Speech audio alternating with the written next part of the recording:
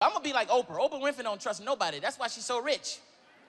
Oprah don't trust nobody. I remember one time Oprah invited all these celebrities to her house. And I came, all these celebrities in the house, and everybody came over. And she had everybody in the yard, wouldn't let nobody in the house. We was like, God damn, what the shit is this?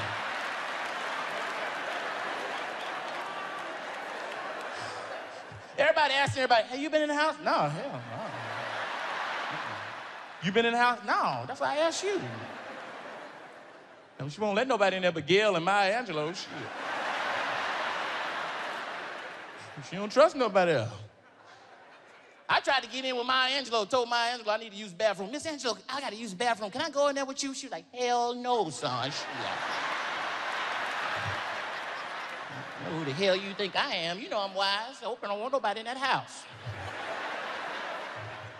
I'm gonna get me a ride back on that plane. Shit, I gotta go home tomorrow.